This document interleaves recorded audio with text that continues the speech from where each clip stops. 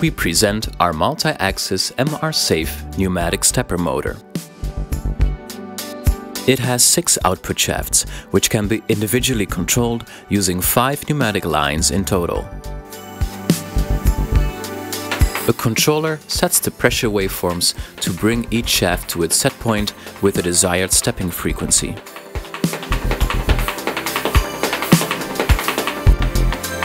The motions of the shafts can be visualized using a planetarium. The positioning accuracy is two steps due to the shared use of pneumatic cylinders. There are four cylinders. Each combination of two cylinders drives one shaft.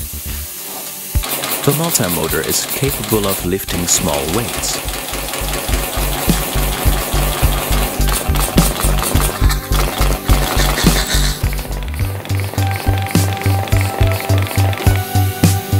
The stepping frequency is reduced when 5 meter long tubes are used.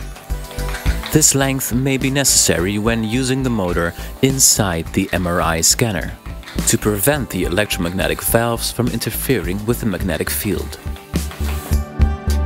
While it may be challenging to connect each shaft to the respective joints of a robotic system, the multimotor is a space-efficient solution with good potential in actuating robotic systems.